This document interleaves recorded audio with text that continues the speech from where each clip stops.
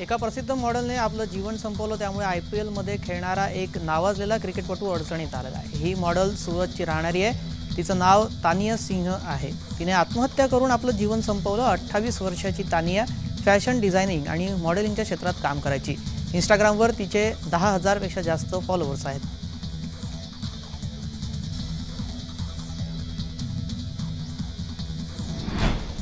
गोंदिया जिल्ह्यातील गंगाझरी पोलीस ठाणे हद्दीतील फतेपूर येथील एका व्यक्तीला बेकायदेशीररित्या विनापरवाना स्वतःच्या घरी घातक शस्त्र लोखंडी तलवार बाळगल्याप्रकरणी जेरबंद करण्यात आलाय.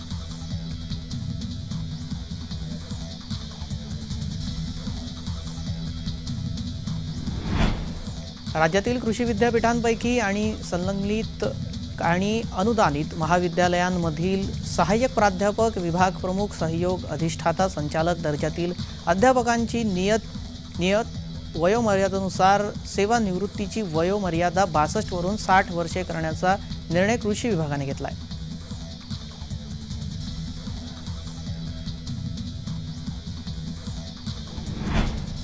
प्रदूषण नियंत्रणासाठी मुंबई महापालिकेने मार्गदर्शक तत्वे जारी केल्यानंतर त्याचे पालन विकासक कंत्राटदार करत नसल्याने त्या विरोधामध्ये कारवाईसाठी महापालिकेने स्वच्छ अंगण या उपविधीचा वापर सुरू केलेला आहे. त्या अंतर्गत दंडात्मक कारवाई केली जात असून गेल्या चार महिन्यांमध्ये ब्याऐंशी लाख रुपयांचा दंड वसूल करण्यात आला आहे.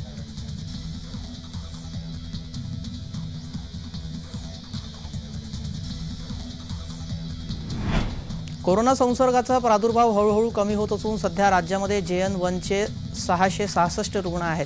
मंगळवारी राज्यामध्ये चौतीस नव्या रुग्णांचे निदान झाले तर सव्वीस रुग्ण बरे होऊन घरी गेले.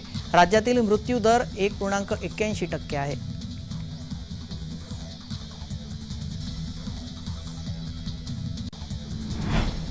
पिंपरी चिंचवड येथील भंगार गोदामाला भीषण आग लागली. धुराचे लोळ सर्वदूर पसरल्याने परिसरात भीतीचं वातावरण निर्माण झालं. सुदैवानं जीवितहानी झालेली नाही. शहरातील मोरवाडी परिसरात ही घटना घडली.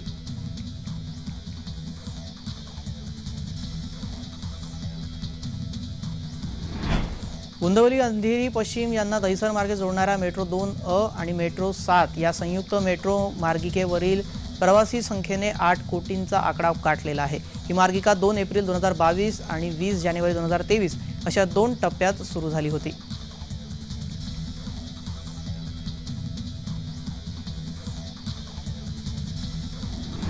ऐश्वर्या राय संदर्भातील वक्तव्यानंतर नेटकऱ्यांनी राहुल गांधी यांना ट्रोल केलेले आहे. अनेक युजर्सने राहुल गांधी यांच्याबद्दल कॉमेंट्स केलेले आहेत. राम मंदिर प्राणप्रतिष्ठा समारंभा स- संदर्भातील वक्तव्य राहुल गांधी यांनी केले होते.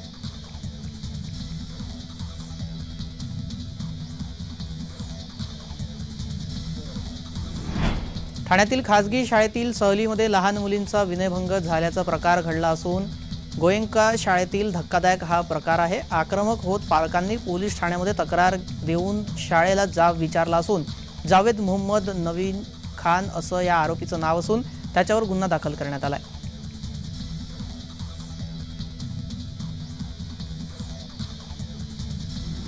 रेणापूर येथे सप्ताहाच्या सार्वजनिक कार्यक्रमामध्ये भगर वाटप करण्यात आली होती. त्यातून ही वीज बाधा झालेली आहे. बाधितांना उपचारासाठी जिल्हा सामान्य रुग्णालयामध्ये उपचारासाठी दाखल करण्यात आलेला आहे. सध्या उपचार सुरू आहेत.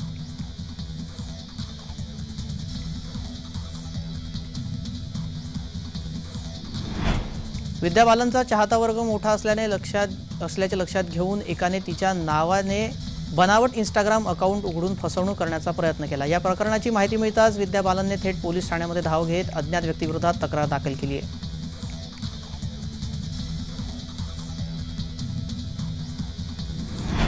बारावीच्या परीक्षेला आजपासून सुरुवात झाली आहे परंतु पुण्यातील वाहतूक कोंडीने विद्यार्थ्यांचा मनस्ताप वाढल्याचं चित्र पाहायला मिळालं.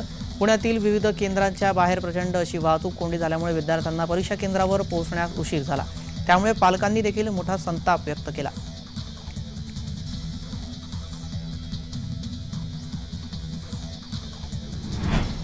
नंदुरबार तालुक्यातील रणाळे येथे भंडाऱ्यातून अडीचशेहून अधिक भक्तांना विषबाधा झालेली आहे. बाळू मामाच्या भंडाऱ्यातील भगर आमटी आणि दुधाचे सेवन केल्यानंतर त्रास झाला. दीडशेहून अधिक जणांना रणाळे ग्रामीण रुग्णालयामध्ये दाखल करण्यात आलेला आहे. जिल्हा सामान्य रुग्णालयामध्ये पंचावन्न रुग्णांवर उपचार सुरू आहेत.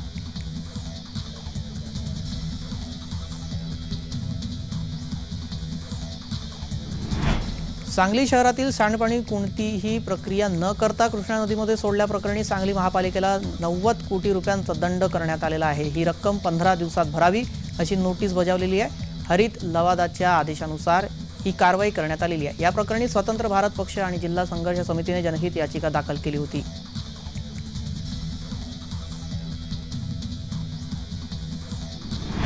छत्रपती संभाजीनगर शहरामध्ये मुकुंदवाडी रेल्वे स्टेशन परिसरामध्ये असणाऱ्या विश्रांत नगर येथे अनधिकृत अतिक्रमण काढण्यासाठी महापालिका प्रशासन पोलीस मोठ्या फौज फाट्यासह दाखल झाले असता स्थानिक नागरिकांनी त्याला विरोध करत रस्त्यावरच ठे आंदोलन सुरू केलं.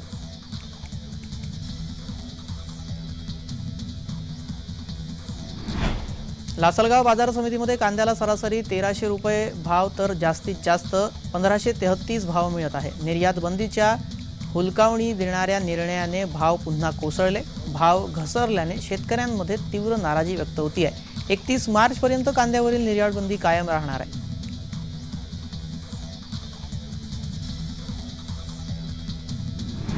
इंग्लंड विरोधातील कसोटी मालिकेमध्ये भारताला आणखी दोन मोठे धक्के बसलेले आहेत. जसप्रीत बुमराह सुद्धा चौथ्या कसोटी सामन्यामध्ये खेळणार नाही. बीसीसीआयनं के एल राहुल आणि जसप्रीत बुमराह यांच्याबद्दलचं अपडेट दिलेलं आहे. के एल राहुल दुखापतीमधून अद्याप सावरला नाही. तर जसप्रीत बुमराह याला चौथ्या कसोटीत आराम देण्यात येणार आहे असं बी सी सी आयनं सांगितलं.